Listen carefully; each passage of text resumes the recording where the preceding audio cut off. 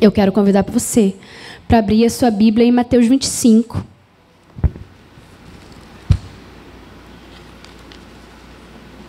E a gente vai falar sobre os talentos.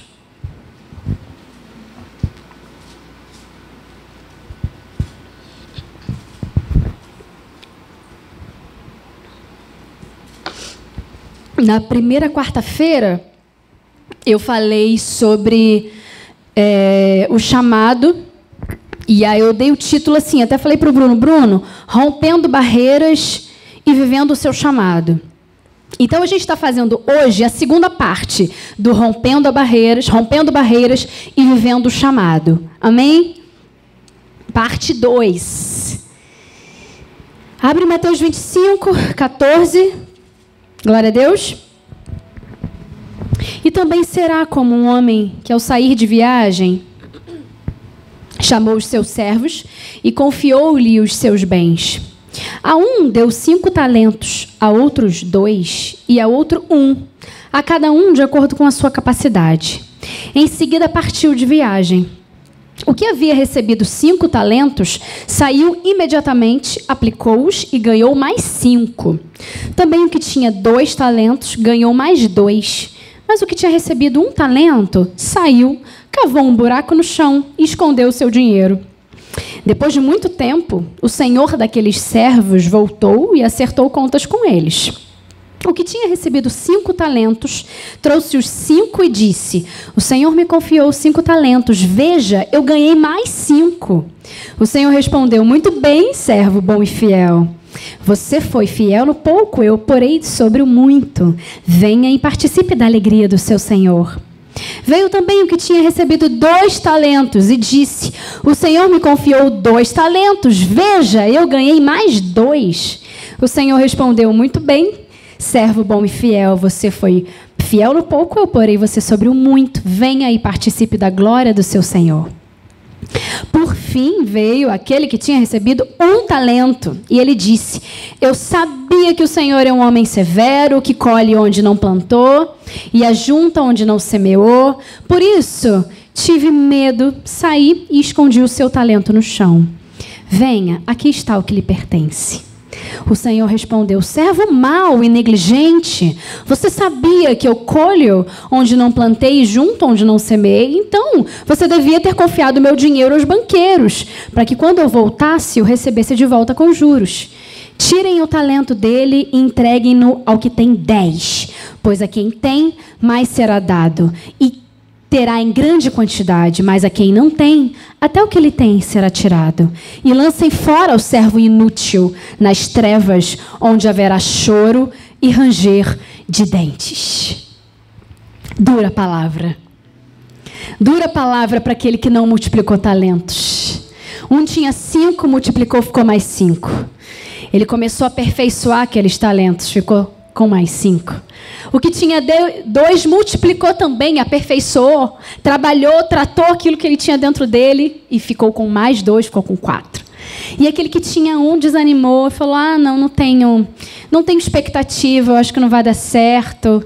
O meu Senhor é um Senhor que não vai investir, que não, não vale a pena, eu ganhei só um também. Deixa para lá. Enterrou o talento, ficou sem nenhum. Não ficou nem com aquele, ficou sem nenhum.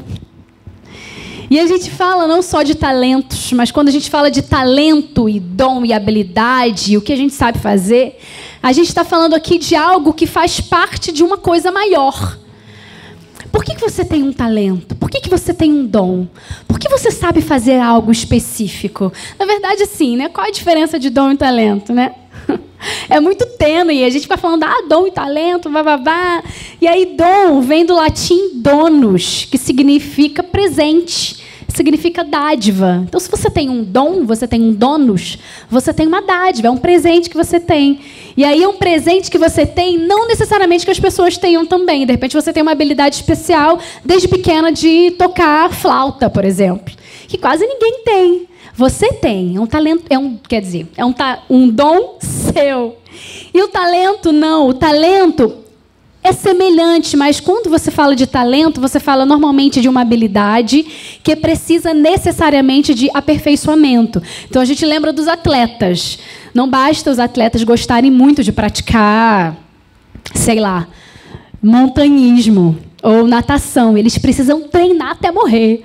Precisam treinar 12, 14 horas por dia, dar tudo que tem, ter disciplina para poder atingir aquele padrão, ganhar o prêmio, fazer parte de um campeonato, ser campeão. Então, isso a gente fala de talento. Tem um talento para isso. Quando, engraçado, quando a gente estava montando a equipe do Preciosa para 2019, Deus foi me trazendo algumas meninas que tinham um talento específico. Então, Deus foi me trazendo a memória. Uma que tinha um talento para decoração, que é a Dani, fez a intercessão aqui, ela é designer de interiores. Depois veio a outra Dani, que também tem um talento especial para isso, uma habilidade especial para isso. Trouxe pessoas que tinham ideias. O Espírito Santo foi me trazendo pessoas que tinham influência sobre outras pessoas, ou que tinham é, conhecimentos especiais que eu não tinha. Então, aquele, aquela equipe foi formada pelo Espírito a partir de dons e talentos específicos, para que juntos a gente fizesse parte de algo maior e algo maior pudesse acontecer.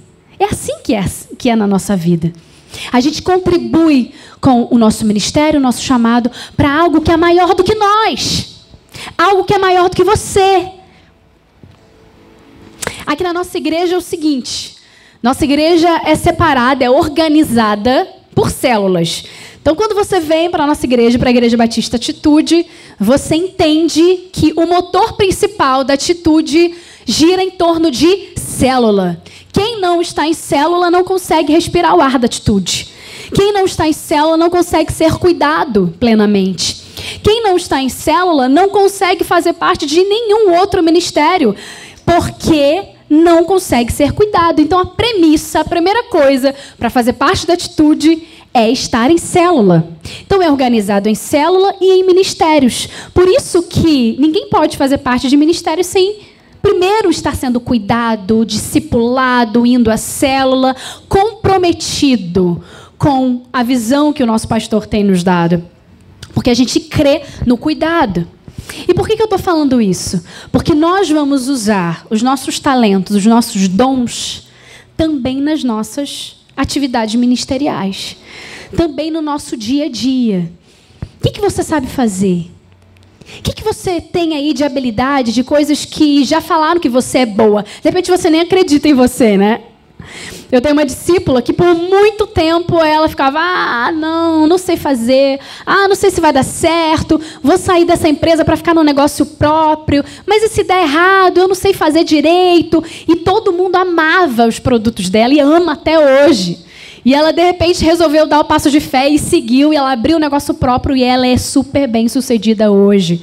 Porque ela entendeu que aquela habilidade foi o Senhor quem tinha dado. E ela usou aquela, habilidade para o crescimento da casa dela. E assim é. Só que quando a gente fala de ministério, de chamado, a gente não está falando de cargo. A gente não está falando de uma posição. A gente está falando de uma função no reino.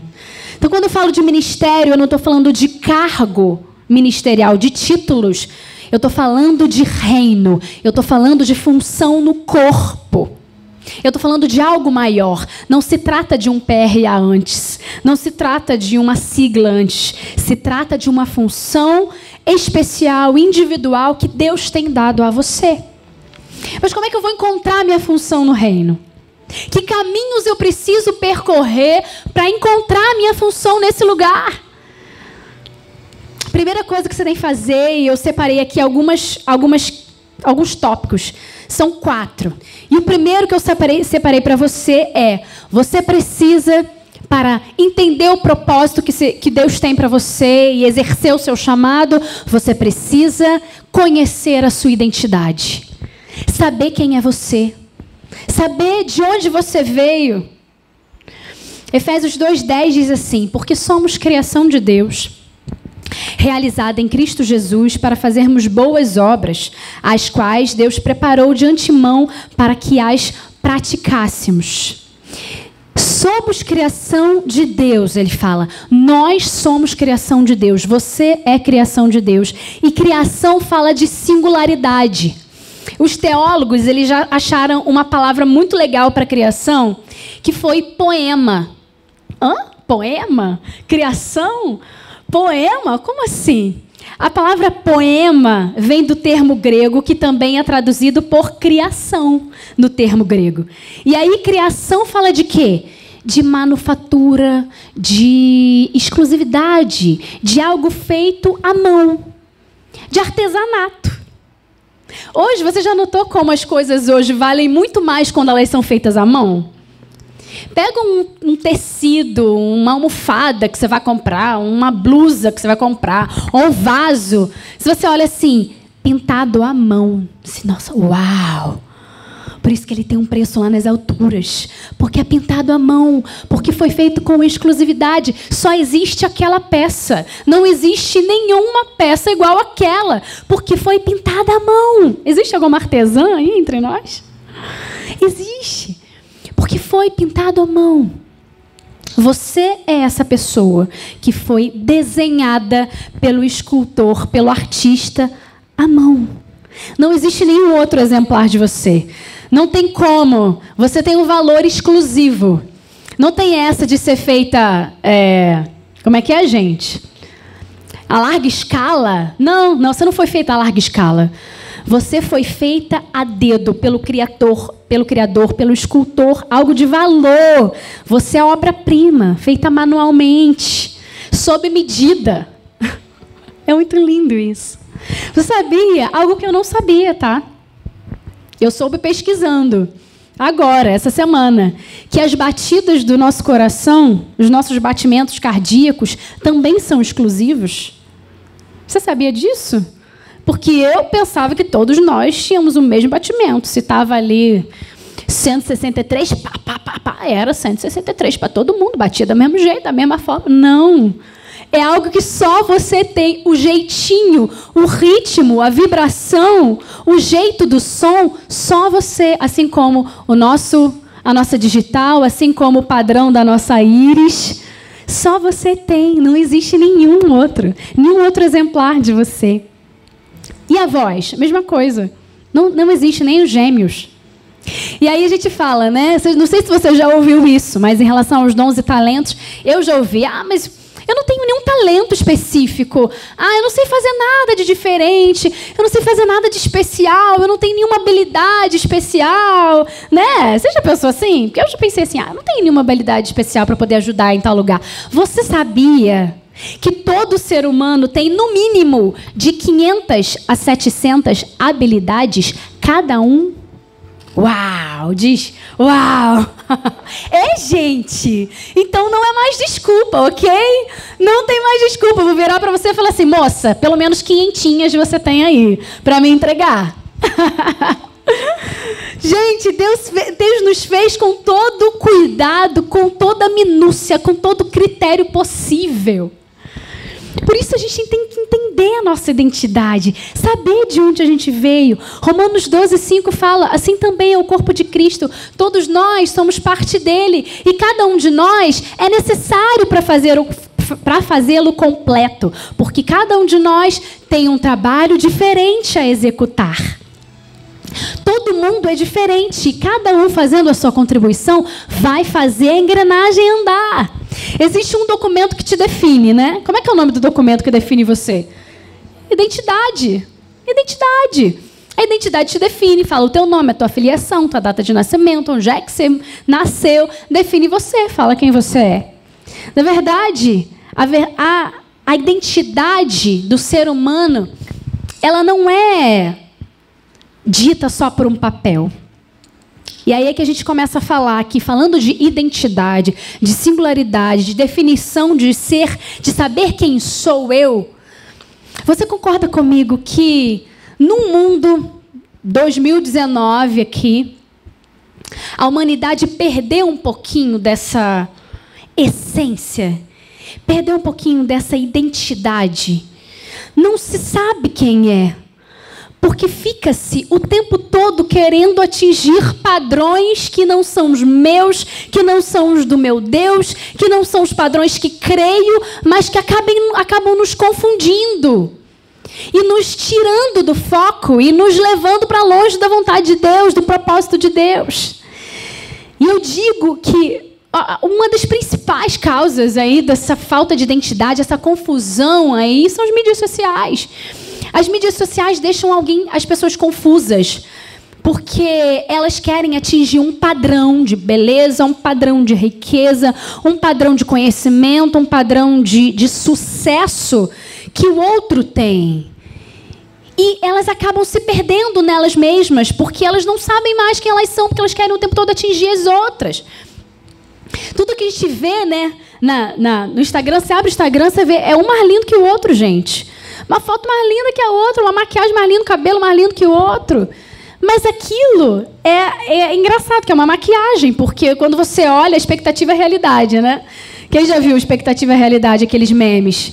Quando eu estava grávida, eu ficava idealizando a amamentação, né? Eu sempre quis amamentar. Eu ficava, ai, como vai ser lindo amamentar. E aí eu olhava aquela expectativa realidade. Quem já viu a expectativa realidade do, da amamentação?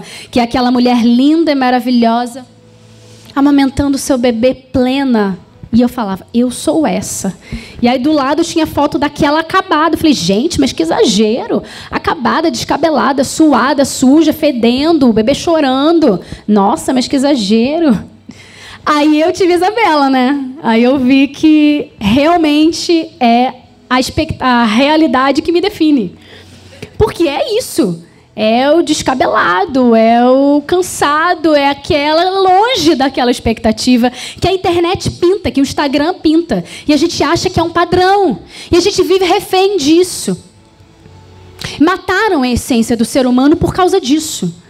Também porque a gente vive escravo de uma beleza que não existe de um padrão que não existe. E a gente quer agradar todo mundo, tem o vício do agradar. Na rede social e fora dela. Você só existe para agradar fulano. Você toma as decisões para agradar fulano. Você fica sempre pensando o que fulano faria no meu lugar. Que roupa o fulano usaria no meu lugar? Que atitudes ele teria? Que comércio ele abriria? E eu fico sempre me pautando em algo que não é a minha realidade. E eu fico fugindo da minha identidade de filha, de amada, de singular dentro do propósito de Deus. Deus criou com a gente com Deus nos criou com uma necessidade de relacionamento, sim. A gente precisa sim buscar crítica, mas quando isso se torna doentio, isso é prejudicial para nós, porque a gente já não ouve mais o que Deus diz, porque não importa mais. O que importa é o que aquela blogueira faz, ou o que aquela mulher faz, ou o que aquela minha amiga faz, que eu tenho ela como, ó, oh, né, Deus na terra, Deus no céu e ela na terra. Então são padrões que a gente gente tem que fugir e buscar e retornar à nossa verdadeira identidade. Essas coisas mexem com a nossa cabeça, com a nossa mente. Sabe uma ferramenta que Satanás tem usado? O medo da crítica. Satanás tem usado o medo da crítica, ele tem gerado o medo de ser criticado dentro de nós. Então a gente se afasta cada vez mais do nosso ministério, porque a gente tem medo de ser criticado, a gente tem medo que os outros vão pensar: ah, esse é a minha missão, esse é o meu ministério. Mas o que, que os outros vão pensar? Será que eu vou ser ridícula? Será que eu vou ser a primeira? Como vai ser? E o medo da crítica nos paralisa. O medo do que os outros, o medo do que os outros, o medo do que os outros. Os outros estão vivendo a vida. E isso acaba nos paralisando. Sabe outra coisa? Às vezes, falando de rede social, a mulher da rede social, ela a verdadeira identidade dela fora da rede social é muito melhor do que aquilo ali. Eu estava conversando com a minha irmã essa semana e ela me falou de um caso assim: nossa, eu estava conversando com uma, uma amiga e eu falei para ela: você é muito melhor do que isso que você expõe. Eu falei: é isso. Eu conheço pessoas e a gente tem trabalhado com pessoas que são muito melhores aqui, na realidade, que expõem algo que não são. Que expõem uma, uma mentira que fica feia, que fica ruim, que elas são melhores aqui. E aí a gente vai para a exposição, né? Como a gente tem exposto o nosso corpo, né? Como a gente tem exposto a nossa vida, o nosso, a nossa beleza, os nossos seios, os, as nossas pernas. Como a mulher tem exposto o dela, o que era para ser guardado para Deus e para o seu marido, como a mulher tem se exposto. E aí, entende que tudo que está exposto ali acaba sendo negociado, porque quando uma mulher coloca uma foto de biquíni, quando uma mulher coloca uma foto dela seminua, ela precisa de aprovação. Ela precisa de autoafirmação. E aí, sinceramente, meninas, eu não vejo diferença entre um produto que está na loja e entre uma mulher que está no Instagram de biquíni. Por quê? Entendam. O Instagram é a vitrine. O produto a ser comprado é o corpo dela, que ela está ali para aprovação. E o valor são as curtidas, é a quantidade de curtidas. Se ela tiver muitas curtidas, ela entende que ela está aprovada, ou seja, ela está ali para vender.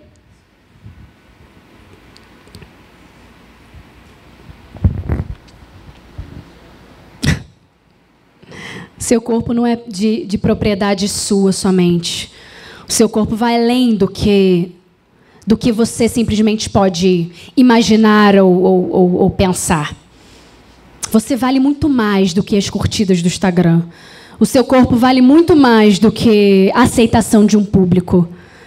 Você foi comprada por nada mais, nada menos do que o sangue do Cordeiro. Não foi por ouro, não foi por prata, foi pelo sangue. Foi por sangue que você foi comprada. E aí a gente começa a se amoldar ao padrão do mundo, né? Eu quero tomar a forma do mundo, eu quero ser igual ao mundo. Quando lá em 1 Coríntios fala, não se amoldem, não se pareçam, não se conformem. Ou seja, não tomem a forma do que o mundo está dizendo para vocês. Quanto mais a gente toma forma do mundo, quanto mais você toma a forma do mundo, menos você se parece com Deus. Quanto mais você se parece com o mundo, menos você se parece com Deus. E aí surgem, na, nessa crise de identidade toda, os manipuladores do ministério, né? Você já viu os manipuladores de ministério? Os, ma os manipuladores de fé, os aqueles que têm um artifício sobre a emoção das pessoas é muito engraçado porque eles fingem ser o que eles não são. Eles manipulam as emoções, eles usam as palavras para fazer as pessoas se emocionarem, chorarem, ir pelo chão mas na realidade eles não são nada daquilo, não são ungidos, eles vestem uma capa de unção, eles vestem uma máscara de unção, e eu não estou falando, queridos, aqui, de dos charlatões, né? A gente ouve muito os charlatões da fé. Bababá, esses já estão escrachados, já estão transparentes demais, a gente sabe que esses aí eu não consigo filtrar. Mas eu estou falando de nós, no nosso dia a dia, quando a gente começa a ser algo que a gente não é. Quando a gente começa a usar o ministério que Deus nos deu, o talento que Deus nos deu, uma habilidade que Deus nos deu, de uma forma deturpada. E aí a gente começa a manipular as pessoas com as nossas palavras, com as nossas atitudes, e, e começa a ser algo que a gente não é. A gente começa a se auto-intitular né? Porque agora eu sou a pastora tal, eu sou a bispa tal, sou a apóstola tal. Começa a se auto-intitular, começa a se auto-nomear, começa a se auto-efetivar na fé, como se precisasse de aprovação, e não é disso que se trata ministério. Ministério não fala de título, ministério não fala de nome, ministério fala de função no reino. Ministério fala de algo maior. Ministério fala de função no coração de Deus para atingir o coração das pessoas. Forçar algo que a gente não é. E eu fico imaginando Deus lá em cima, no céu, olhando para essas pessoas. E ele deve pensar assim: quem é esse que eu não conheço? O Caio, semana passada, a gente foi ver aquele filme Superação, Milagre da Fé, na pré-estreia. E aí o Caio, a gente desceu da, da, da sessão, aí tinha uma, uma, uns editores, uns, uns jornalistas fazendo entrevista com câmera, bababá. Eles chamaram ele para dar uma entrevista, para dar um depoimento sobre o filme. E aí ele foi lá falar sobre o filme, né? E aí ele ouviu os dois câmeras falando assim: quem é esse? Aí ele saiu de lá rindo. Falei, meu Deus, não sabem, mas não sabem, por quê? E é engraçado eles falando. E aí eu fico imaginando Deus olhando para alguns de nós aqui, quando a gente está tentando manipular o nosso ministério, manipular a nossa identidade, manipular a nossa essência, ele dizendo para a gente: quem é esse? Quem é essa que eu não conheço? Não é pelo muito falar. E quando chegar no juízo final, o que, que vai acontecer? Eu não conheço você. Porque você até curou em meu nome. Você até profetizou em meu nome, mas eu não conheço você. O céu não conhece você. Atos 1, 8 fala assim: Mas recebereis poder quando descer o Espírito Santo sobre vocês. Só que muitos veem o Espírito, não recebem o Espírito. Será que hoje você está nessa condição? Você viu o Espírito descer sobre alguém, mas recebereis poder ao descer o Espírito Santo do Senhor. Aí o Espírito Santo desceu, mas foi sobre o outro, e você viu algo acontecer. Você viu o poder de Deus sobre o outro, não sobre você. E ele continua, ele fala: Ser-me-eis minhas testemunhas, vocês serão minhas testemunhas. Só que quando descer o poder. O Espírito desce sobre ele, ou seja, poder.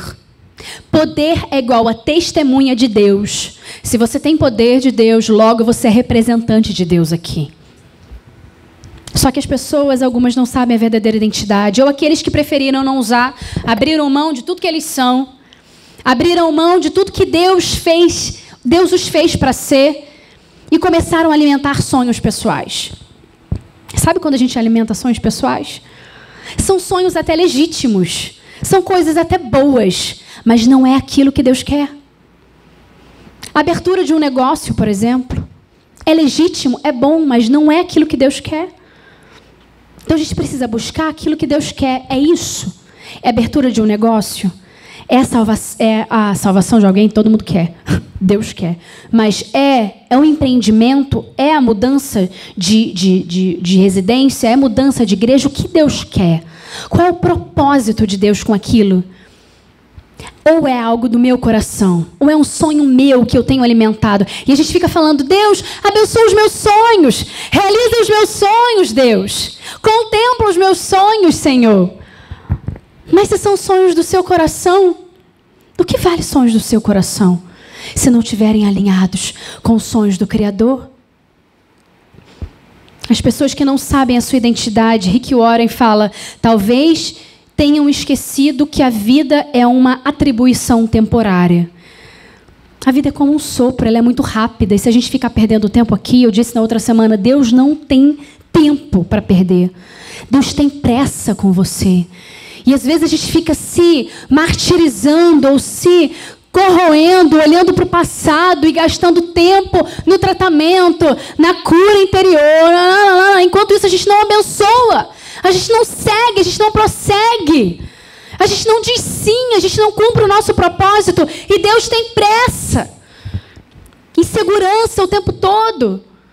Será? Será? Medos, insegurança, confusões mentais. E muitas vezes a gente vai para um lugar e a gente serve um Deus que a gente não sabe quem é. Sabe, a, a eu estou lendo o iníciozinho ali do livro da Nívia Soares. E ela fala que, por muito tempo, ela louvava um Deus que ela não conhecia. E quando ela começou a cantar aquela canção, Incomparáveis são tuas promessas para mim, ela não sabia que promessas eram essas. Ela não conhecia o Deus das promessas. Ela conhecia aquele Deus que foi desenhado para ela lá atrás. Um Deus mau, um Deus sério, um Deus sisudo, um Deus temível. E ela sim aprendeu a ter muito temor.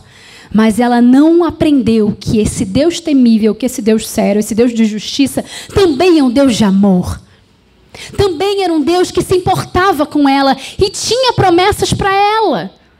Só que ela não sabia quais eram essas promessas. Você sabe quais são as promessas de Deus? Quando você canta essa canção, quando eu comecei a ler esse trecho do livro, eu me peguei e eu pensei, meu Deus, por muito tempo eu cantei essa canção e demais outras, pedindo a promessa do Senhor sobre mim, mas eu não sabia quais eram. Por muito tempo eu louvava um Deus que eu fui ensinada a louvar pelos meus pais, pelos meus professores, mas que eu não sabia a essência desse Deus. Eu não sabia quem eu era. Eu fui ensinada. Mas quando eu parei para pensar, opa, quem é? Quem é de fato? Eu quero conhecer. Porque às vezes a gente se baseia no que pessoas confiáveis dizem sobre Deus no que pessoas de referência dizem sobre Deus, no que pastores e líderes dizem sobre Deus, mas nós não nos esforçamos para buscar a verdadeira essência do nosso Deus, pessoal. Ele está disposto a se revelar para você pessoalmente, intimamente. E a gente começa e insiste a acreditar e crer somente naquilo que dizem para gente. E a gente às vezes, muitas vezes, é como aquele, aquele soldadinho. Sim, Senhor, sim, Senhor. Deus é isso, Deus é aquilo. Ok, Deus não faz isso, Deus não faz aquilo. Ok. E somos robôs espirituais. Quando Deus, lá, lá atrás, quando Jesus morreu, o que houve? Primeira coisa que aconteceu: o véu do templo se rasgou. Não foi à toa que aquele véu se rasgou. Não foi à toa, porque aquele véu significava a separação da presença de Deus. E quando o véu se rasga, ele fala que não há mais separação entre Deus e o homem. Agora o caminho está aberto, disponível para você buscar a tua identidade nele, o teu propósito nele. E parar de somente acreditar naquilo que te dizem. Vai na palavra. Vai ver o que ele está dizendo a teu respeito. Vai ver o que ele está falando a teu respeito. Mas dá trabalho, né? Dá, dá trabalho demais, dá muito trabalho buscar o Senhor. Porque exige tempo. Exige concentração e eu estou muito cansada. E a gente volta sempre para o mesmo lugar, parece, né? O Senhor está à nossa espera. O Senhor quer encontrar conosco. O Senhor quer dizer para a gente quem a gente é.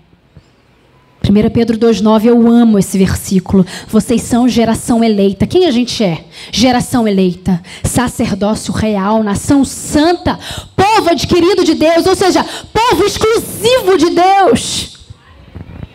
Para anunciar as grandezas daquele que nos chamou das trevas para a sua maravilhosa luz. Ele nos chamou para anunciar ele não falou só, ele nos chamou das trevas para a luz. Não, ele falou, aquele que nos chamou a anunciar. João 1,12: Aos que receberam, aos que creram em seu nome, deu-lhes o direito de se tornarem filhos de Deus.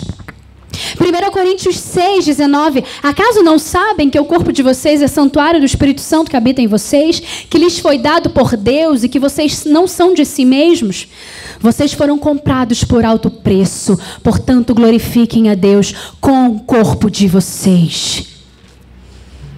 Você é a habitação do Espírito Santo. Ele não escolheu habitar mais nesse lugar. Esse lugar sem você é vazio.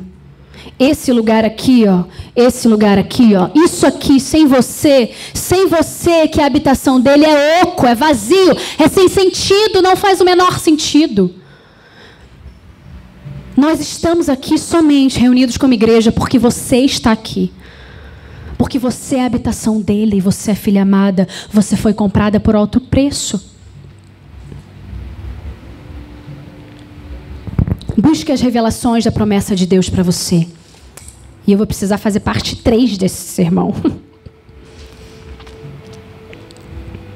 Você sabe a diferença, e a gente fala aqui de promessa, né? A gente fala ali de promessa. Você sabe a diferença de vida bem-sucedida para propósitos de Deus? Uma vida ser bem-sucedida para cumprir os propósitos de Deus? Você pode ser bem-sucedida aqui, nos padrões humanos, nos padrões do mundo, mas não estar no caminho do propósito de Deus para você. Você pode muito bem ser bem-sucedida, mas se você não estiver cumprindo aquilo que o Senhor te criou para ser, você não será bem-sucedida no reino. Você pode até alcançar seus objetivos pessoais, você pode até alcançar sonhos, mas se o propósito de Deus não estiver sendo cumprido dentro de você, nada vai adiantar. E por muito tempo, por muito tempo, eu fugi muito daquilo que Deus tinha para mim. Por muito tempo eu fugi, eu fui para outro caminho. Não era errado, não, era certo, era tudo legítimo. Eu estava estudando, eu estava trabalhando numa grande agência de publicidade. Eu estava legal. Mas eu me sentia vazia. Eu sentia que faltava algo mais, eu sentia que o meu tempo estava indo pelo ralo nos meus dias. E cada dia que eu acordava para trabalhar naquela agência de publicidade, e eu entendi que eu estava trabalhando para pessoas, trabalhando para outros enriquecerem, trabalhando simplesmente para que aquilo acontecesse, uma empresa ser bem-sucedida, eu entendi, eu sentia dentro de mim, no meu espírito, que aquilo para mim era oco, era vazio. Eu podia dar mais. Aí foi quando Deus começou a me incomodar de uma forma mais, mais forte. De repente você tem um chamado desde pequena, eu não sei qual é, desde pequeno.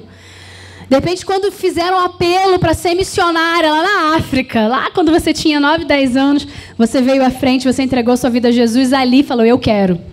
E depois você foi caminhando, você foi crescendo, você foi perdendo esse sonho, você foi esquecendo, você foi seguindo outros caminhos, e você esqueceu daquela tua decisão. Mas eu vou te dizer uma coisa: Deus não esqueceu. Se o sonho era teu, Deus vai refazer o teu sonho. E Deus vai colocar algo diferente no teu coração. Só que é engraçado, porque quando a gente fala de propósito, de sonho, a gente muitas vezes recorre a essa palavra aqui, muitas vezes, somente como um manual de autoajuda. E aí a gente abre a Bíblia, a gente quer falar assim, quem nunca, tá? Quem nunca? Ah, Deus fala comigo. Fecha o olho. Abre aqui. Então mandaram para lá os benjamitas, dizendo: Vão, escondam-se nas vinhas e fiquem lá observando. Então, Deus, é para eu me esconder e fica tentando manipular a voz de Deus. Isso aqui não é manual de autoajuda. Isso aqui não é uma palavra para você ter a sua emoção, o seu sentimento, o seu, o seu ego apreciado, acalentado, acarinhado, não. Isso aqui é palavra de vida. E ele vai te ensinar o teu propósito. Só que a gente às vezes se acha incapaz de cumprir o nosso propósito, porque a gente acha que a gente não é tão é, habilitada assim, ou a gente não estudou tanto assim. Aí vem um monte de ICs na nossa cabeça, né? Conhece os ICs? E se eu tivesse nascido numa família rica? E se eu tivesse dito sim e entendido isso desde pequena? E se eu fosse casada? E se eu fosse solteira? E se eu não tivesse filho? E se eu não tivesse 50 anos? E a gente acha que a gente é velho para assumir o nosso propósito. E eu já converso, eu converso com várias pessoas, várias mulheres e homens que se sentem velhos, que se sentem idosos Sim, o tempo está passando? Ok, mas Deus não abandonou o propósito que Ele tem para você. Porque às vezes a gente usa a idade como moleta, não, já tenho 60 anos. Quando eu estudava faculdade, eu tinha, eu estudava em Petrópolis e durante os meus quatro anos de faculdade frequentou um senhor que andava assim, curvado, ele devia ter, gente, no mínimo ali uns 70 anos. Eu estou sendo muito bondosa. E ele andava encurvado e ele andava bem assim. O ritmo dele era esse. E ele frequentava as aulas, ele fazia o curso de direito, e os quatro anos que eu estava lá, eram os quatro anos que ele estava lá, subindo e descendo escadas, quando as aulas eram no segundo andar, e ele concluiu o ensino de direito com, sei lá, mais do que 70 anos. E você diz que você é velho, que você é velha? Deus usa os improváveis. Deus usa os pequenos. Deus usa aqueles que não foram escolhidos. Quem era Davi? Davi era o menor da sua casa.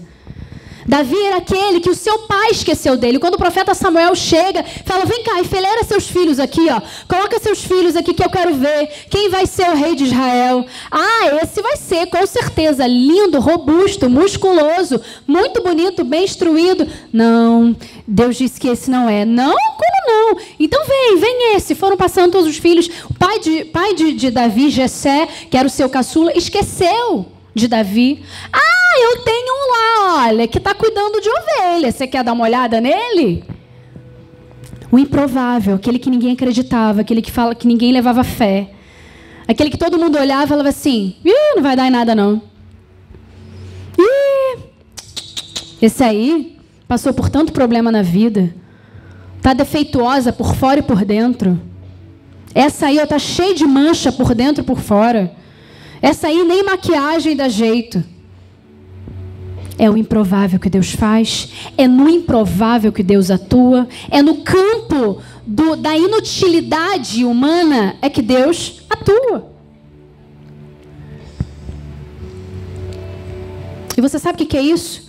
Mentiras de Satanás para te afastar do teu propósito e do seu ministério. Achamos que a gente é tão insignificante, né, para um Deus tão majestoso. E a gente louva um Deus tão grande, tão poderoso, e a gente fala, eu sou tão pequena que não vai valer a pena não. Eu acho que ele não vai me usar não, não vai, não vou servir para a obra não, eu sou muito pequena. Mas Deus Deuteronômio 31, e eu quero que você abra agora Deuteronômio 31. Que é quando Moisés fala com Josué e ele começa a dar as ordens de instrução ali para o povo, para a sua transição. Ele está passando o bastão para Josué, então ele fala assim: Olha, é, Josué, fica tranquilo, vai dar tudo certo, Deus é contigo.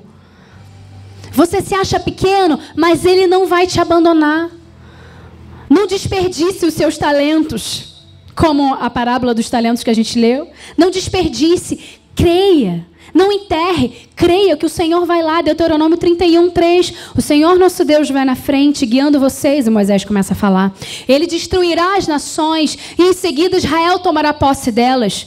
O novo comandante de Israel é Josué, como o Senhor determinou. O Senhor destruirá as nações que vivem na terra prometida, assim como destruiu Seom e Og, reis dos amorreus, e o território deles. O Senhor entregará a vocês aqueles povos e vocês destruirão todos eles, como eu ordenei. Sejam fortes, tenham coragem, não tenham medo deles, pois o Senhor nosso Deus é quem vai com o nosso povo. Ele não vai falhar, nem vai abandonar vocês. Então Moisés chamou Josué, enquanto todo Israel observava, disse a ele: Seja forte, seja corajoso, pois você vai levar à frente esse povo à terra que o Senhor prometeu. A terra que o Senhor prometeu aos nossos avós. Você fará com que o nosso povo conquiste aquela terra. Não tenha medo, pois o Senhor irá na frente e estará com você. Ele não vai falhar, nem vai abandonar você. Ele diz: Glória a Deus. Você crê essa promessa? Você crê que quando ele disse isso, ele não disse isso só para Josué? Ele diz isso para você. Você não está sozinho, ele pega você pela mão. Isso muitas vezes vai implicar em negar a gente mesmo, em negar os nossos sonhos, em fazer renúncias, em colocar coisas para trás. Quantos sonhos eu deixei para trás, queridas? Quantos, quantos planos pessoais que eram bons eu deixei para trás? E coisas que não, não me davam prazer, e outras coisas que me davam muito prazer, que eu queria muito fazer, que eu achava que seria muito bom, mas Deus falou assim para mim: não, não é para você. Eu tenho outras coisas para você.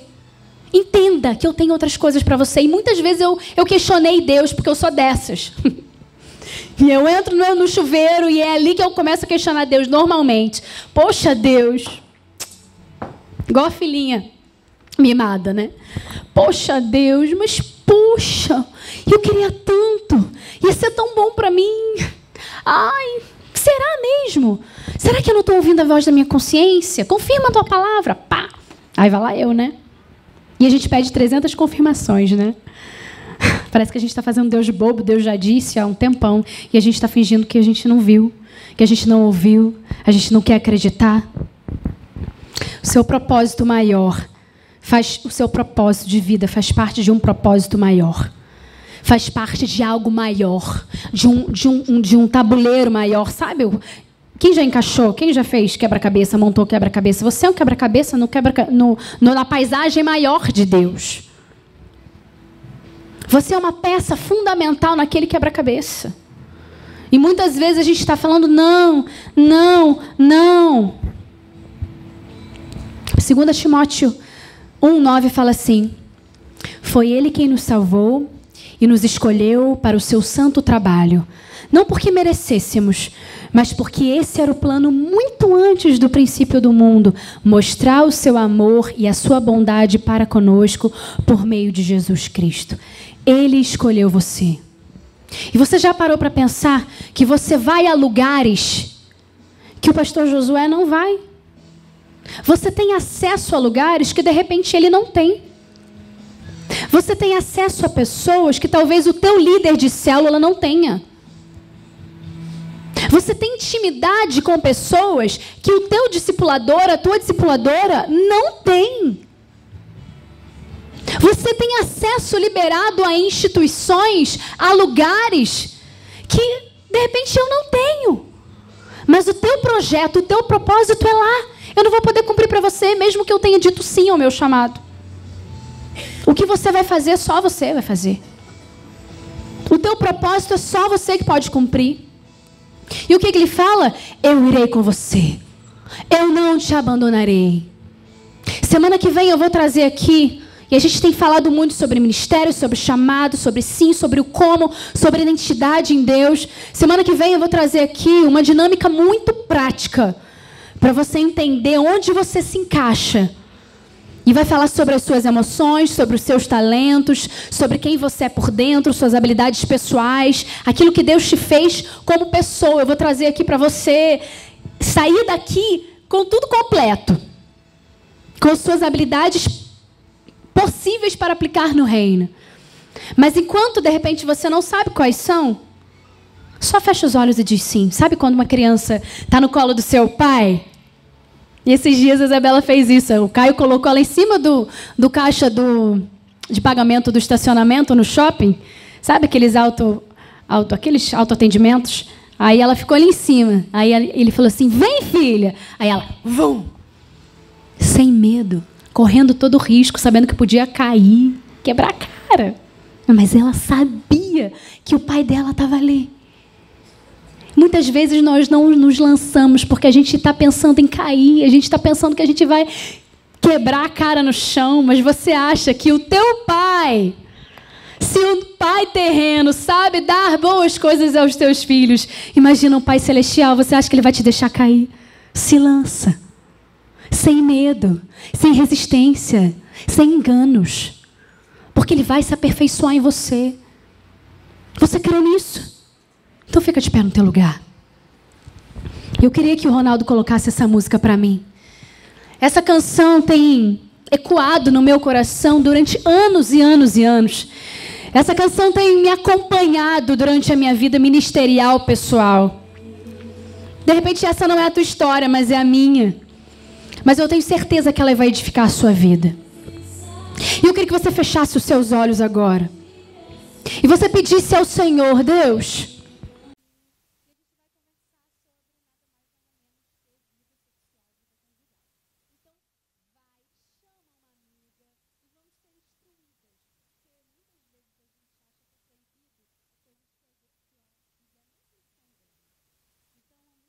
A gente poder ser esclarecido.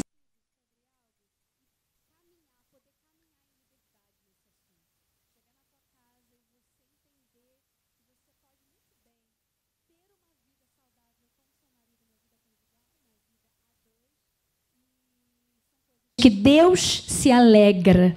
Então, vai, vamos nos esclarecer e nós vamos ser abençoadas. Amém? Dia 11 de maio é sábado do Dia das Mães, aquele, aquela, aquele final de semana. 11 de maio, 8 e meia, aqui nesse lugar, no Salão Kids. Amém?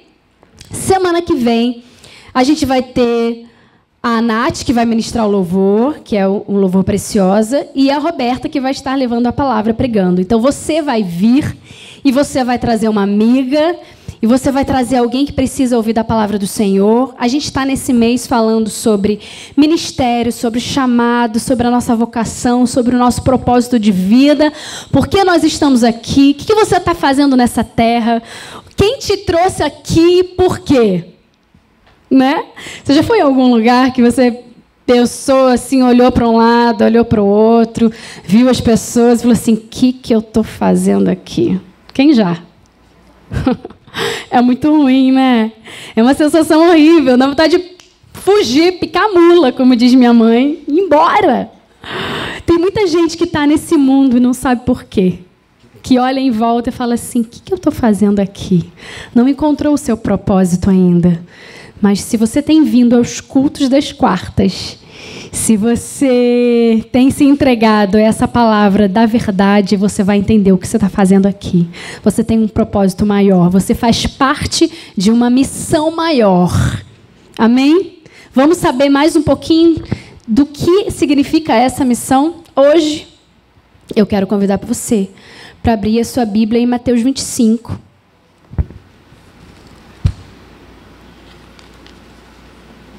E a gente vai falar sobre os talentos.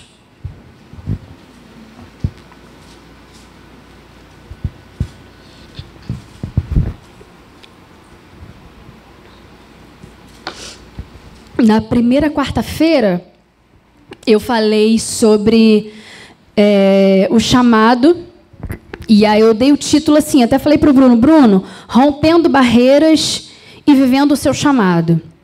Então a gente está fazendo hoje a segunda parte do rompendo barreiras, rompendo barreiras e vivendo o chamado. Amém? Parte 2.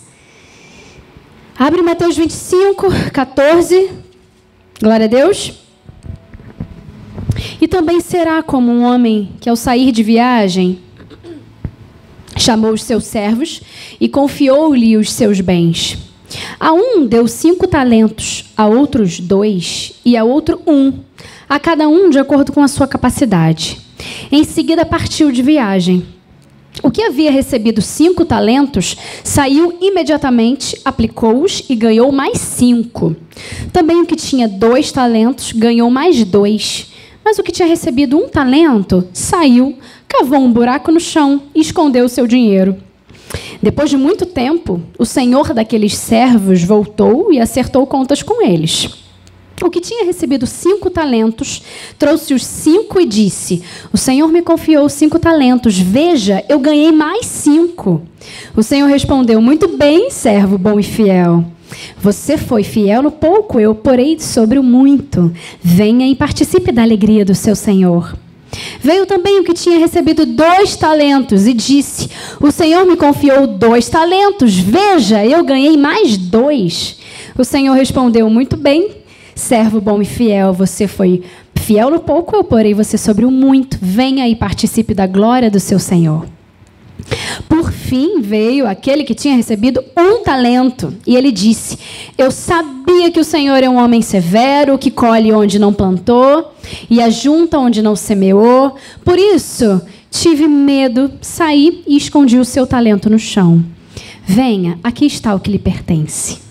O Senhor respondeu: Servo mau e negligente, você sabia que eu colho onde não plantei e junto onde não semeei? Então, você devia ter confiado meu dinheiro aos banqueiros, para que quando eu voltasse, eu recebesse de volta com juros. Tirem o talento dele e entreguem-no ao que tem dez, pois a quem tem, mais será dado. E terá em grande quantidade, mas a quem não tem, até o que ele tem será tirado. E lancem fora o servo inútil nas trevas, onde haverá choro e ranger de dentes. Dura palavra. Dura palavra para aquele que não multiplicou talentos. Um tinha cinco, multiplicou, ficou mais cinco. Ele começou a aperfeiçoar aqueles talentos, ficou com mais cinco. O que tinha dois multiplicou também, aperfeiçoou, trabalhou, tratou aquilo que ele tinha dentro dele e ficou com mais dois, ficou com quatro. E aquele que tinha um desanimou e falou: Ah, não, não tenho, não tenho expectativa, eu acho que não vai dar certo. O meu Senhor é um Senhor que não vai investir, que não, não vale a pena, eu ganhei só um também. Deixa para lá. Enterrou o talento, ficou sem nenhum. Não ficou nem com aquele, ficou sem nenhum. E a gente fala não só de talentos, mas quando a gente fala de talento e dom e habilidade, o que a gente sabe fazer, a gente está falando aqui de algo que faz parte de uma coisa maior. Por que, que você tem um talento? Por que, que você tem um dom? Por que você sabe fazer algo específico? Na verdade, assim, né? Qual a diferença de dom e talento, né? É muito tênue. A gente vai falando, ah, dom e talento, babá. E aí, dom vem do latim donos, que significa presente, significa dádiva. Então, se você tem um dom, você tem um donos, você tem uma dádiva, é um presente que você tem. E aí é um presente que você tem, não necessariamente que as pessoas tenham também. De repente você tem uma habilidade especial desde pequena de tocar flauta, por exemplo, que quase ninguém tem. Você tem, é um talento, é um, quer dizer, é um, um dom seu. E o talento não, o talento é semelhante, mas quando você fala de talento, você fala normalmente de uma habilidade que precisa necessariamente de aperfeiçoamento. Então a gente lembra dos atletas. Não basta os atletas gostarem muito de praticar, sei lá, montanhismo ou natação. Eles precisam treinar até morrer. Precisam treinar 12, 14 horas por dia, dar tudo que tem, ter disciplina para poder atingir aquele padrão, ganhar o prêmio, fazer parte de um campeonato, ser campeão. Então, isso a gente fala de talento. Tem um talento para isso. Quando, engraçado, quando a gente estava montando a equipe do Preciosa para 2019, Deus foi me trazendo algumas meninas que tinham um talento específico. Então, Deus foi me trazendo a memória. Uma que tinha um talento para decoração, que é a Dani, fez a intercessão aqui, ela é designer de interiores. Depois veio a outra Dani, que também tem um talento especial para isso, uma habilidade especial para isso. Trouxe pessoas que tinham ideias. O Espírito Santo foi me trazendo pessoas que tinham influência sobre outras pessoas, ou que tinham é, conhecimentos especiais que eu não tinha.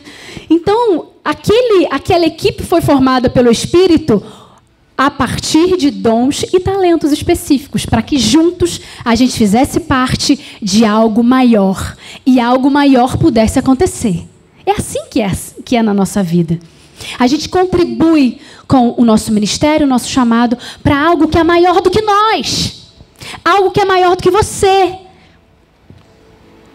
Aqui na nossa igreja é o seguinte: nossa igreja é separada, é organizada por células. Então, quando você vem para a nossa igreja, para a Igreja Batista Atitude, você entende que o motor principal da atitude gira em torno de célula. Quem não está em célula não consegue respirar o ar da atitude. Quem não está em célula não consegue ser cuidado plenamente. Quem não está em célula não consegue fazer parte de nenhum outro ministério, porque não consegue ser cuidado. Então, a premissa, a primeira coisa para fazer parte da atitude é estar em célula.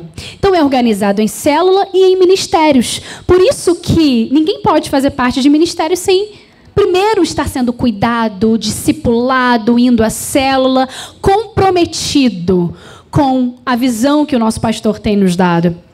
Porque a gente crê no cuidado.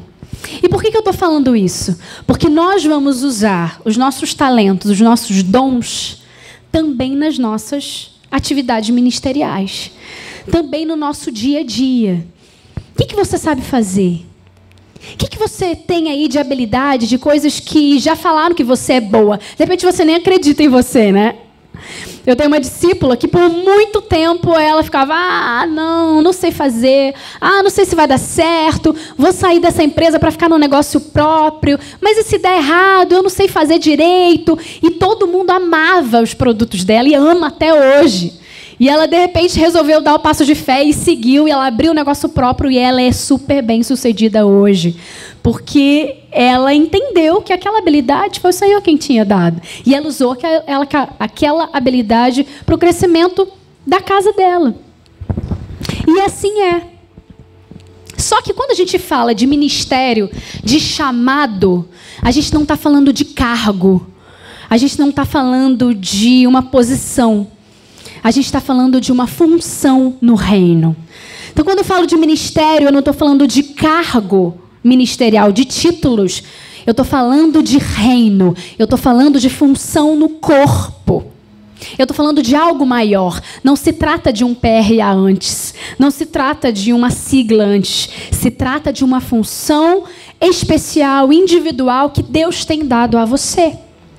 Mas como é que eu vou encontrar minha função no reino? Que caminhos eu preciso percorrer para encontrar a minha função nesse lugar? Primeira coisa que você tem que fazer, e eu separei aqui algumas, algumas, alguns tópicos. São quatro. E o primeiro que eu separei, separei para você é: você precisa para entender o propósito que, se, que Deus tem para você e exercer o seu chamado, você precisa conhecer a sua identidade, saber quem é você, saber de onde você veio.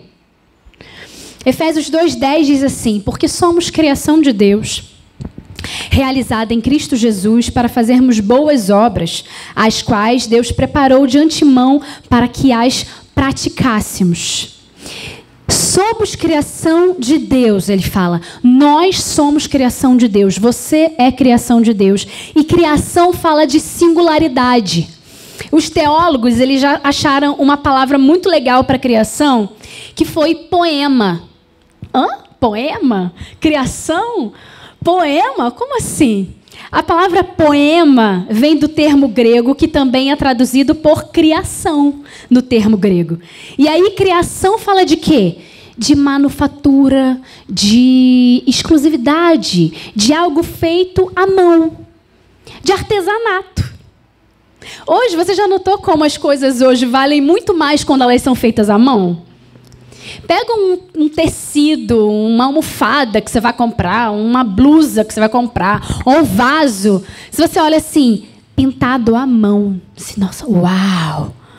Por isso que ele tem um preço lá nas alturas. Porque é pintado à mão. Porque foi feito com exclusividade. Só existe aquela peça. Não existe nenhuma peça igual àquela. Porque foi pintada à mão. Existe alguma artesã aí entre nós? Existe. Porque foi pintado à mão. Você é essa pessoa que foi desenhada pelo escultor, pelo artista à mão. Não existe nenhum outro exemplar de você. Não tem como. Você tem um valor exclusivo. Não tem essa de ser feita. É... Como é que é, gente? A larga escala? Não, não, você não foi feita a larga escala. Você foi feita a dedo pelo criador, pelo criador, pelo escultor, algo de valor. Você é obra-prima, feita manualmente, sob medida. É muito lindo isso. Você sabia algo que eu não sabia, tá? Eu soube pesquisando agora, essa semana, que as batidas do nosso coração, os nossos batimentos cardíacos, também são exclusivos. Você sabia disso? Porque eu pensava que todos nós tínhamos o mesmo batimento. Se estava ali 163, pá, pá, pá, pá, era 163 para todo mundo, batia do mesmo jeito, da mesma forma. Não. É algo que só você tem. O jeitinho, o ritmo, a vibração, o jeito do som, só você. Assim como o nosso, a nossa digital, assim como o padrão da nossa íris. Só você tem, não existe nenhum outro, nenhum outro exemplar de você. E a voz? Mesma coisa. Não, não existe nem os gêmeos. E aí a gente fala, né? Não sei se você já ouviu isso, mas em relação aos dons e talentos, eu já ouvi. Ah, mas eu não tenho nenhum talento específico. Ah, eu não sei fazer nada de diferente. Eu não sei fazer nada de especial. Eu não tenho nenhuma habilidade especial. Né? Você já pensou assim? Porque eu já pensei assim: ah, eu não tenho nenhuma habilidade especial para poder ajudar em tal lugar. Você sabia que todo ser humano tem no mínimo de 500 a 700 habilidades cada um. Uau, diz, uau. É, gente. Então não é mais desculpa, ok? Não tem mais desculpa. Vou virar para você e falar assim, moça, pelo menos quinhentinhas você tem aí para me entregar. Gente, Deus, Deus nos fez com todo cuidado, com toda minúcia, com todo critério possível. Por isso a gente tem que entender a nossa identidade, saber de onde a gente veio. Romanos 12, 5 fala: assim também é o corpo de Cristo. Todos nós somos parte dele. E cada um de nós é necessário para fazer o para fazê-lo completo, porque cada um de nós tem um trabalho diferente a executar. Todo mundo é diferente, cada um fazendo a sua contribuição vai fazer a engrenagem andar. Existe um documento que te define, né? Como é que é o nome do documento que define você? Identidade. Identidade. A identidade te define, fala o teu nome, a tua filiação, tua data de nascimento, onde é que você nasceu, define você, fala quem você é. Na verdade, a, a, a identidade do ser humano, ela não é dita só por um papel. E aí é que a gente começa a falar aqui, falando de identidade, de singularidade, de definição de ser, de saber quem sou eu.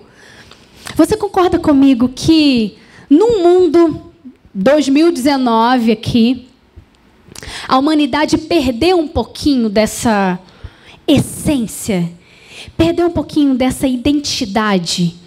Não se sabe quem é. Porque fica-se o tempo todo querendo atingir padrões que não são os meus, que não são os do meu Deus, que não são os padrões que creio, mas que acabem, acabam nos confundindo e nos tirando do foco e nos levando para longe da vontade de Deus, do propósito de Deus. E eu digo que uma das principais causas aí dessa falta de identidade, essa confusão aí, são as mídias sociais. As mídias sociais deixam alguém, as pessoas confusas, porque elas querem atingir um padrão de beleza, um padrão de riqueza, um padrão de conhecimento, um padrão de, de sucesso que o outro tem. E elas acabam se perdendo nelas mesmas, porque elas não sabem mais quem elas são, porque elas querem o tempo todo atingir as outras. Tudo que a gente vê né, na, na, no Instagram, você abre o Instagram, você vê, é um mais lindo que o outro, gente. Uma foto mais linda que a outra, uma maquiagem mais linda, um cabelo mais lindo que o outro. Mas aquilo é, é engraçado, que é uma maquiagem, porque quando você olha, a expectativa é a realidade, né? Quem já viu expectativa é realidade, aqueles memes? Quando eu estava grávida, eu ficava idealizando a amamentação, né? Eu sempre quis amamentar. Eu ficava, ai, como vai ser lindo amamentar. E aí eu olhava aquela expectativa realidade. Quem já viu a expectativa realidade do, da amamentação? Que é aquela mulher linda e maravilhosa, amamentando seu bebê plena. E eu falava, eu sou essa. E aí do lado tinha foto daquela acabada. Eu falei, gente, mas que exagero. Acabada, descabelada, suada, suja, fedendo, o bebê chorando. Nossa, mas que exagero. Aí eu tive Isabela, né? Aí eu vi que realmente é a, a realidade que me define. Porque é isso. É o descabelado, é o cansado, é aquela longe daquela expectativa que a internet pinta, que o Instagram pinta. E a gente acha que é um padrão. E a gente vive refém disso. Mataram a essência do ser humano por causa disso. Também porque a gente vive escravo de uma beleza que não existe, de um padrão que não existe. E a gente quer agradar todo mundo, tem o vício do agradar. Na rede social e fora dela. Você só existe para agradar fulano. Você toma as decisões para agradar fulano. Você fica sempre pensando o que fulano faria no meu lugar. Que roupa o fulano usaria no meu lugar? Que atitudes ele teria? Que comércio ele abriria? E eu fico sempre me pautando em algo que não é a minha realidade. E eu fico fugindo da minha identidade. De filha, de amada, de singular dentro do propósito de Deus. Deus criou com a gente com Deus nos criou com uma necessidade de relacionamento, sim. A gente precisa sim buscar crítica, mas quando isso se torna doentio, isso é prejudicial para nós, porque a gente já não ouve mais o que Deus diz, porque não importa mais. O que importa é o que aquela blogueira faz, ou o que aquela mulher faz, ou o que aquela minha amiga faz, que eu tenho ela como, ó, oh, né, Deus na terra, Deus no céu e ela na terra. Então são padrões que a gente gente tem que fugir e buscar e retornar a nossa verdadeira identidade. Essas coisas mexem com a nossa cabeça, com a nossa mente. Sabe uma ferramenta que Satanás tem usado? O medo da crítica. Satanás tem usado o medo da crítica, ele tem gerado o medo de ser criticado dentro de nós. Então a gente se afasta cada vez mais do nosso ministério, porque a gente tem medo de ser criticado, a gente tem medo que os outros vão pensar: ah, esse é a minha missão, esse é o meu ministério. Mas o que, que os outros vão pensar? Será que eu vou ser ridícula? Será que eu vou ser a primeira? Como vai ser? E o medo da crítica nos paralisa. O medo do que os outros, o medo do que os outros, o medo do que os outros. Os outros estão vivendo a vida. E isso acaba nos paralisando. Sabe outra coisa? Às vezes, falando de rede social, a mulher da rede social, ela a verdadeira identidade dela fora da rede social é muito melhor do que aquilo ali. Eu estava conversando com a minha irmã essa semana e ela me falou de um caso assim: nossa, eu estava conversando com uma, uma amiga e eu falei para ela: você é muito melhor do que isso que você expõe. Eu falei: é isso. Eu conheço pessoas e a gente tem trabalhado com pessoas que são muito melhores aqui, na realidade, que expõem algo que não são, que expõem uma, uma mentira que fica feia, que fica ruim, que elas são melhores aqui. E aí a gente vai para a exposição, né? Como a gente tem exposto o nosso corpo, né? Como a gente tem exposto a nossa vida, o nosso, a nossa beleza, os nossos seios, os, as nossas pernas. Como a mulher tem exposto o dela, o que era para ser guardado para Deus e para o seu marido, como a mulher tem se exposto. E aí, entende que tudo que está exposto ali acaba sendo negociado, porque quando uma mulher coloca uma foto de biquíni, quando uma mulher coloca uma foto dela seminua, ela precisa de aprovação, ela precisa de autoafirmação. E aí, sinceramente, meninas, eu não vejo diferença entre um produto que está na loja e entre uma mulher que está no Instagram de biquíni. Por quê? Entendam. O Instagram é a vitrine. O produto a ser comprado é o corpo dela, que ela está ali para aprovação. E o valor são as curtidas, é a quantidade de curtidas. Se ela tiver muitas curtidas, ela entende que ela está aprovada, ou seja, ela está ali para vender.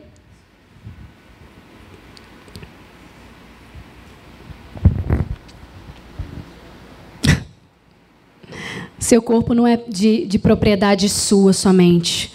O seu corpo vai além do que do que você simplesmente pode imaginar ou, ou, ou, ou, pensar. Você vale muito mais do que as curtidas do Instagram. O seu corpo vale muito mais do que a aceitação de um público. Você foi comprada por nada mais, nada menos do que o sangue do Cordeiro. Não foi por ouro, não foi por prata, foi pelo sangue foi por sangue que você foi comprada. E aí a gente começa a se amoldar ao padrão do mundo, né? Eu quero tomar a forma do mundo, eu quero ser igual ao mundo. Quando lá em 1 Coríntios fala, não se amoldem, não se pareçam, não se conformem. Ou seja, não tomem a forma do que o mundo está dizendo para vocês. Quanto mais a gente toma a forma do mundo, quanto mais você toma a forma do mundo, menos você se parece com Deus. Quanto mais você se parece com o mundo, menos você se parece com Deus. E aí surgem, na, nessa crise de identidade toda, os manipuladores do ministério, né? Você já viu os manipuladores de ministério? Os, ma os manipuladores de fé, os aqueles que têm um artifício sobre a emoção das pessoas é muito engraçado, porque eles fingem ser o que eles não são. Eles manipulam as emoções, eles usam as palavras para fazer as pessoas se emocionarem, chorarem, ir pelo chão mas na realidade eles não são nada daquilo, não são ungidos, eles vestem uma capa de unção, eles vestem uma máscara de unção, e eu não estou falando, queridos, aqui, de dos charlatões, né? A gente ouve muito os charlatões da fé. Bababá, esses já estão escrachados, já estão transparentes demais, a gente sabe que esses aí eu não consigo filtrar. Mas eu estou falando de nós, no nosso dia a dia, quando a gente começa a ser algo que a gente não é. Quando a gente começa a usar o ministério que Deus nos deu, o talento que Deus nos deu, uma habilidade que Deus nos deu, de uma forma deturpada. E aí a gente começa a manipular as pessoas com as nossas palavras, com as nossas atitudes, e, se, e começa a ser algo que a gente não é. E a gente começa a se auto-intitular né? Porque agora eu sou a pastora tal, eu sou a bispa tal, sou a apóstola tal. Começa a se auto-intitular, começa a se auto-nomear, começa a se auto-efetivar na fé, como se precisasse de aprovação, e não é disso que se trata ministério. Ministério não fala de título, ministério não fala de nome, ministério fala de função no reino. Ministério fala de algo maior. Ministério fala de função no coração de Deus para atingir o coração das pessoas. Forçar algo que a gente não é. E eu fico imaginando Deus lá em cima, no céu, olhando para essas pessoas. E ele deve pensar assim: quem é esse que eu não conheço? O Caio, semana passada, a gente foi ver aquele filme Superação, Milagre da Fé, na pré-estreia. E aí o Caio, a gente desceu da, da, da sessão, aí tinha uma, uma, uns editores, uns, jornalistas fazendo entrevista com câmera, bababá. Eles chamaram ele para dar uma entrevista, para dar um depoimento sobre o filme. E aí ele foi lá falar sobre o filme, né? E aí ele ouviu os dois câmeras falando assim: quem é esse? Aí ele saiu de lá rindo. Falei, meu Deus, não sabem, mas não sabem, por quê? E é engraçado eles falando. E aí eu fico imaginando Deus olhando para alguns de nós aqui, quando a gente está tentando manipular o nosso ministério, manipular a nossa identidade, manipular a nossa essência, ele dizendo para a gente: quem é esse? Quem é essa que eu não conheço? Não é pelo muito falar. E quando chegar no juízo final, o que, que vai acontecer? Eu não conheço você. Porque você até curou em meu nome. Você até profetizou em meu nome, mas eu não conheço você. O céu não conhece você. Atos 1, 8 fala assim: Mas recebereis poder quando descer o Espírito Santo sobre vocês.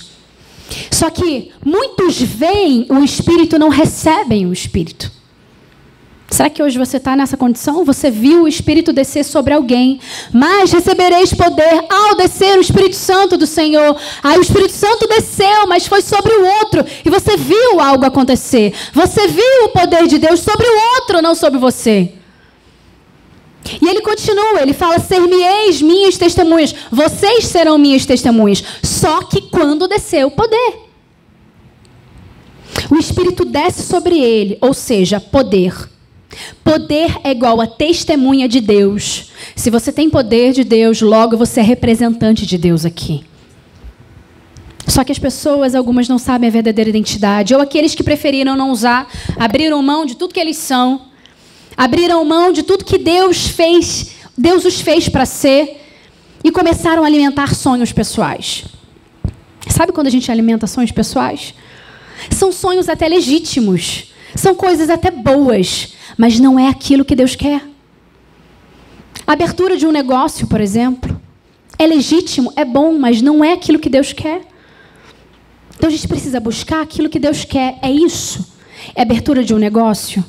É a, salva é a salvação de alguém, todo mundo quer. Deus quer. Mas é, é um empreendimento, é a mudança de, de, de, de residência, é mudança de igreja. O que Deus quer? Qual é o propósito de Deus com aquilo? Ou é algo do meu coração, ou é um sonho meu que eu tenho alimentado. E a gente fica falando: Deus, abençoa os meus sonhos, realiza os meus sonhos, Deus. Contempla os meus sonhos, Senhor. Mas se são sonhos do seu coração, do que vale sonhos do seu coração? Se não estiverem alinhados com os sonhos do Criador? As pessoas que não sabem a sua identidade, Rick Warren fala: talvez tenham esquecido que a vida é uma atribuição temporária. A vida é como um sopro, ela é muito rápida. E se a gente ficar perdendo tempo aqui, eu disse na outra semana, Deus não tem tempo para perder. Deus tem pressa com você. E às vezes a gente fica se martirizando ou se corroendo, olhando para o passado e gastando tempo no tratamento, na cura interior. Enquanto isso a gente não abençoa. A gente não segue, a gente não prossegue. A gente não diz sim, a gente não cumpre o nosso propósito. E Deus tem pressa. Insegurança o tempo todo. Será? Será? Medos, insegurança, confusões mentais. E muitas vezes a gente vai para um lugar e a gente serve um Deus que a gente não sabe quem é. Sabe, a, a eu estou lendo o iníciozinho ali do livro da Nívia Soares. E ela fala que, por muito tempo, ela louvava um Deus que ela não conhecia. E quando ela começou a cantar aquela canção, Incomparáveis são tuas promessas para mim, ela não sabia que promessas eram essas. Ela não conhecia o Deus das promessas. Ela conhecia aquele Deus que foi desenhado para ela lá atrás. Um Deus mau, um Deus sério, um Deus sisudo, um Deus temível. E ela sim aprendeu a ter muito temor, mas ela não aprendeu que esse Deus temível, que esse Deus sério, esse Deus de justiça, também é um Deus de amor. Também era um Deus que se importava com ela e tinha promessas para ela. Só que ela não sabia quais eram essas promessas. Você sabe quais são as promessas de Deus? Quando você canta essa canção, quando eu comecei a ler esse trecho do livro, eu me peguei e eu pensei, meu Deus, por muito tempo eu cantei essa canção e demais outras, pedindo a promessa do Senhor sobre mim, mas eu não sabia quais eram. Por muito tempo eu louvava um Deus que eu fui ensinada a louvar pelos meus pais, pelos meus professores, mas que eu não sabia a essência desse Deus. Eu não sabia quem eu era. Eu fui ensinada. Mas quando eu parei para pensar, opa, quem é? Quem é de fato? Eu quero conhecer. Porque às vezes a gente se baseia no que pessoas confiáveis dizem sobre Deus no que pessoas de referência dizem sobre Deus, no que pastores e líderes dizem sobre Deus, mas nós não nos esforçamos para buscar a verdadeira essência do nosso Deus, pessoal. Ele está disposto a se revelar para você pessoalmente, intimamente. E a gente começa e insiste a acreditar e crer somente naquilo que dizem para gente.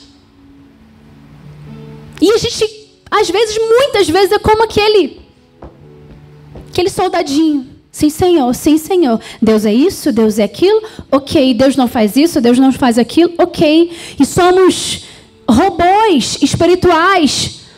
Quando Deus, lá, lá atrás, quando Jesus morreu, o que houve? Primeira coisa que aconteceu, o véu do templo se rasgou. Não foi à toa que aquele véu se rasgou. Não foi à toa, porque aquele véu significava a separação da presença de Deus. E quando o véu se rasga, ele fala que não há mais separação entre Deus e o homem. Agora o caminho está aberto, disponível para você buscar a tua identidade nele, o teu propósito nele. E parar de somente acreditar naquilo que te dizem. Vai na palavra. Vai ver o que ele está dizendo a teu respeito. Vai ver o que ele está falando a teu respeito. Mas dá trabalho, né? Dá, dá trabalho demais, dá muito trabalho buscar o Senhor. Porque exige tempo.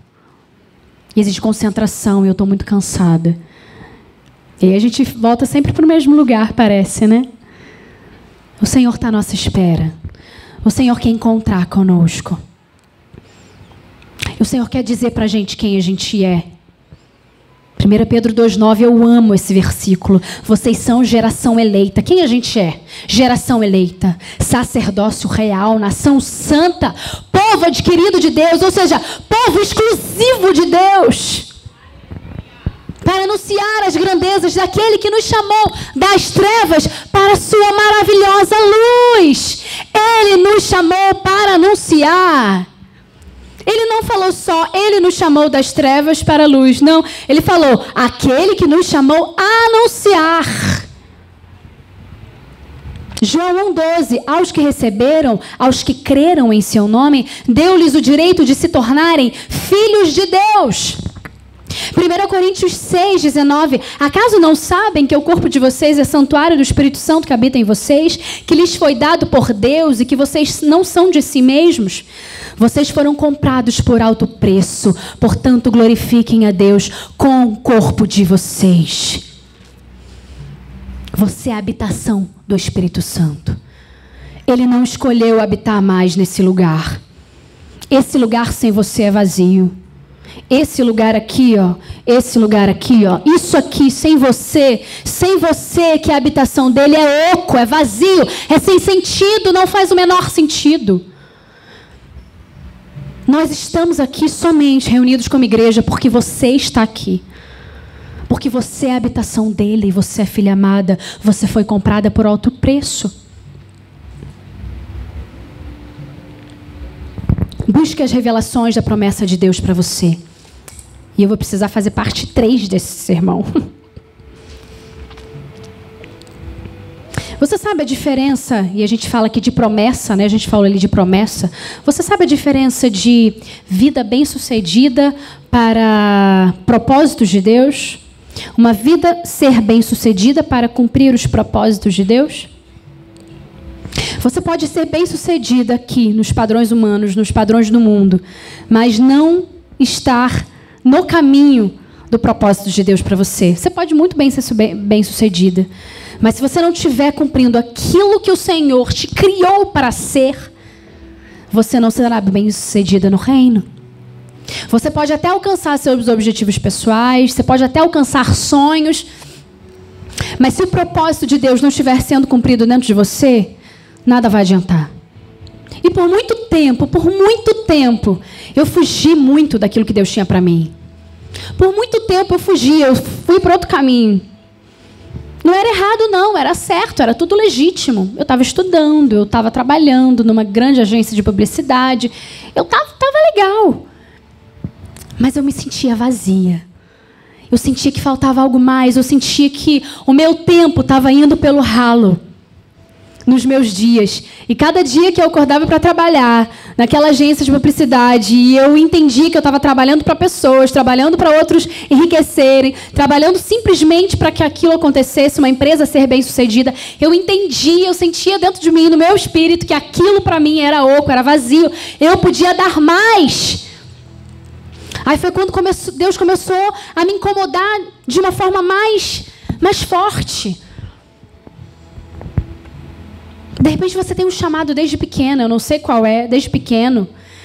De repente, quando fizeram um apelo para ser missionária lá na África, lá quando você tinha 9, 10 anos, você veio à frente, você entregou sua vida a Jesus ali falou: Eu quero. E depois você foi caminhando, você foi crescendo, você foi perdendo esse sonho, você foi esquecendo, você foi seguindo outros caminhos, e você esqueceu daquela tua decisão. Mas eu vou te dizer uma coisa: Deus não esqueceu. O sonho era teu, Deus vai refazer o teu sonho. E Deus vai colocar algo diferente no teu coração.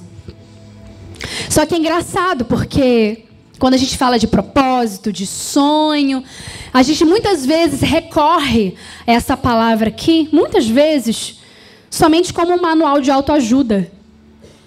E aí a gente abre a Bíblia, a gente quer falar assim, quem nunca, tá? Quem nunca? Ah, Deus fala comigo. Fecha o olho. Abre aqui. Então mandaram para lá os benjamitas, dizendo: Vão, escondam-se nas vinhas e fiquem lá observando. Então, Deus, é para eu me esconder e fica tentando manipular a voz de Deus. Isso aqui não é manual de autoajuda. Isso aqui não é uma palavra para você ter a sua emoção, o seu sentimento, o seu, o seu ego apreciado, acalentado, acarinhado, não. Isso aqui é palavra de vida. E ele vai te ensinar o teu propósito. Só que a gente às vezes se acha incapaz de cumprir o nosso propósito, porque a gente acha que a gente não é tão é, habilitada assim, ou a gente não estudou tanto assim. Aí vem um monte de ICs na nossa cabeça, né? Conhece os ICs? E se eu tivesse nascido numa família rica? E se eu tivesse dito sim e entendido isso desde pequena? E se eu fosse casada? E se eu fosse solteira? E se eu não tivesse filho? E se eu não tivesse 50 anos? E a gente acha que a gente é velho para assumir o nosso propósito. E eu já converso, eu converso com várias pessoas, várias mulheres e homens que se sentem velhos, que se sentem idosos Sim, o tempo está passando? Ok, mas Deus não abandonou o propósito que Ele tem para você. Porque às vezes a gente usa a idade como moleta, não, já tenho 60 anos. Quando eu estudava faculdade, eu tinha, eu estudava em Petrópolis e durante os meus quatro anos de faculdade frequentou um senhor que andava assim, curvado, ele devia ter, gente, no mínimo ali uns 70 anos. Eu estou sendo muito bondosa. E ele andava encurvado e ele andava bem assim. O ritmo dele era esse. E ele frequentava as aulas, ele fazia o curso de direito, e os quatro anos que eu estava lá, eram os quatro anos que ele estava lá, subindo e descendo escadas, quando as aulas eram no segundo andar, e ele concluiu o ensino de direito com, sei lá, mais do que 70 anos. E você diz que você é velho, que você é velha? Deus usa os improváveis. Deus usa os pequenos. Deus usa aqueles que não foram escolhidos. Quem era Davi? Davi era o menor da sua casa. Davi era aquele que o seu pai esqueceu dele. Quando o profeta Samuel chega, fala: Vem cá, enfileira seus filhos aqui, ó. Coloca seus filhos aqui que eu quero ver. Quem vai ser o rei de Israel? Ah, esse vai ser, com certeza. Lindo, robusto, musculoso, muito bonito, bem instruído. Não, Deus disse que esse não é. Não? Como não? Então vem, vem esse. Foram passando todos os filhos. O pai de, pai de, de Davi, Jessé, que era o seu caçula, esqueceu de Davi. Ah, eu tenho um lá, olha, que está cuidando de ovelha. Você quer dar uma olhada nele? O improvável, aquele que ninguém acreditava, aquele que fala que ninguém levava fé. Aquele que todo mundo olhava e falava assim: Ih, não vai dar em nada não. Ih, esse aí passou por tanto problema na vida. Está defeituosa por fora e por dentro. Essa aí está cheia de mancha por dentro e por fora. Essa aí nem maquiagem dá jeito.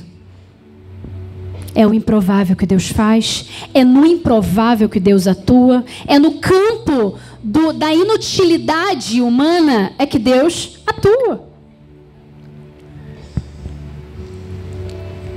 E você sabe o que é isso? Mentiras de Satanás para te afastar do teu propósito e do seu ministério. Achamos que a gente é tão insignificante, né, para um Deus tão majestoso. E a gente louva um Deus tão grande, tão poderoso, e a gente fala, eu sou tão pequena que não vai valer a pena não. Eu acho que ele não vai me usar não, não vai, não vou servir para a obra não, eu sou muito pequena. Mas Deus Deuteronômio 31, e eu quero que você abra agora Deuteronômio 31. Que é quando Moisés fala com Josué e ele começa a dar as ordens de instrução ali para o povo, para a sua transição. Ele está passando o bastão para Josué, então ele fala assim: Olha, é, Josué, fica tranquilo, vai dar tudo certo, Deus é contigo. Você se acha pequeno, mas ele não vai te abandonar. Não desperdice os seus talentos, como a parábola dos talentos que a gente leu. Não desperdice, creia. Não enterre, creia que o Senhor vai lá, Deuteronômio 31, 3. O Senhor nosso Deus vai na frente, guiando vocês, e Moisés começa a falar. Ele destruirá as nações, e em seguida Israel tomará posse delas. O novo comandante de Israel é Josué, como o Senhor determinou. O Senhor destruirá as nações que vivem na terra prometida, assim como destruiu Seom e Og, reis dos amorreus, e o território deles. O Senhor entregará a vocês aqueles povos e vocês destruirão todos eles, como eu ordenei. Sejam fortes, tenham coragem, não tenham medo deles, pois o Senhor nosso Deus é quem vai com o nosso povo. Ele não vai falhar, nem vai abandonar vocês. Então Moisés chamou Josué, enquanto todo Israel observava, disse a ele: Seja forte, seja corajoso, pois você vai levar à frente esse povo à terra que o Senhor prometeu a terra que o Senhor prometeu aos nossos avós. Você fará com que o nosso povo conquiste aquela terra. Não tenha medo, pois o Senhor irá na frente e estará com você. Ele não vai falhar, nem vai abandonar você. Ele diz: Glória a Deus. Você crê essa promessa? Você crê que quando ele disse isso, ele não disse isso só para Josué? Ele diz isso para você. Você não está sozinho, ele pega você pela mão. Isso muitas vezes vai implicar em negar a gente mesmo, em negar os nossos sonhos, em fazer renúncias, em colocar coisas para trás. Quantos sonhos eu deixei para trás, queridas? Quantos, quantos planos pessoais que eram bons eu deixei para trás? E coisas que não, não me davam prazer, e outras coisas que me davam muito prazer, que eu queria muito fazer, que eu achava que seria muito bom, mas Deus falou assim para mim: não, não é para você. Eu tenho outras coisas para você. Entenda que eu tenho outras coisas para você. E muitas vezes eu, eu questionei Deus, porque eu sou dessas. e eu entro no, chuveiro e é ali que eu começo a questionar Deus normalmente. Poxa, Deus. Igual a filhinha mimada, né? Poxa, Deus, mas puxa, eu queria tanto. Ia ser tão bom para mim. Ai, será mesmo? Será que eu não estou ouvindo a voz da minha consciência? Confirma a tua palavra. Pá. Aí vai lá eu, né? E a gente pede 300 confirmações, né?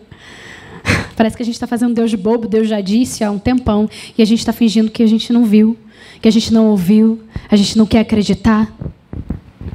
O seu propósito maior faz o seu propósito de vida, faz parte de um propósito maior. Faz parte de algo maior, de um, de um, de um tabuleiro maior, sabe? Quem já encaixou? Quem já fez quebra-cabeça, montou quebra-cabeça? Você é um quebra-cabeça no quebra, no, no, na paisagem maior de Deus. Você é uma peça fundamental naquele quebra-cabeça. E muitas vezes a gente está falando não, não, não.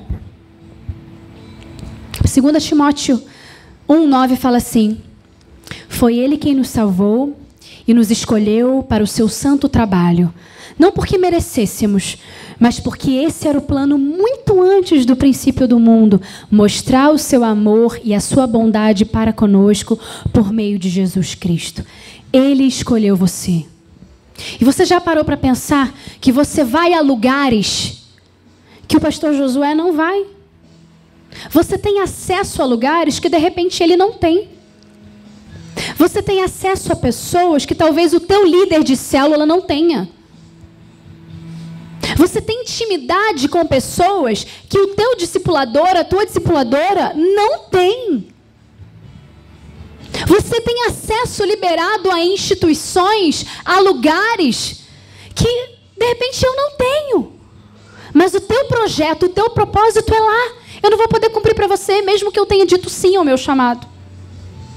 O que você vai fazer, só você vai fazer. O teu propósito é só você que pode cumprir. E o que, que ele fala? Eu irei com você. Eu não te abandonarei. Semana que vem eu vou trazer aqui e a gente tem falado muito sobre ministério, sobre chamado, sobre sim, sobre o como, sobre identidade em Deus. Semana que vem eu vou trazer aqui uma dinâmica muito prática para você entender onde você se encaixa. E vai falar sobre as suas emoções, sobre os seus talentos, sobre quem você é por dentro, suas habilidades pessoais, aquilo que Deus te fez como pessoa. Eu vou trazer aqui para você sair daqui com tudo completo. Com suas habilidades possíveis para aplicar no reino. Mas enquanto de repente você não sabe quais são, só fecha os olhos e diz sim. Sabe quando uma criança está no colo do seu pai? E esses dias a Isabela fez isso. O Caio colocou ela em cima do, do caixa do, de pagamento do estacionamento no shopping. Sabe aqueles auto, auto, aqueles autoatendimentos? Aí ela ficou ali em cima. Aí ele falou assim: Vem, filha. Aí ela, vum. Sem medo correndo todo o risco, sabendo que podia cair, quebrar a cara. Mas ela sabia que o pai dela estava ali. Muitas vezes nós não nos lançamos porque a gente está pensando em cair, a gente está pensando que a gente vai quebrar a cara no chão, mas você acha que o teu pai, se o pai terreno sabe dar boas coisas aos teus filhos, imagina um pai celestial, você acha que ele vai te deixar cair? Se lança sem medo, sem resistência, sem enganos. Porque Ele vai se aperfeiçoar em você. Você crê nisso?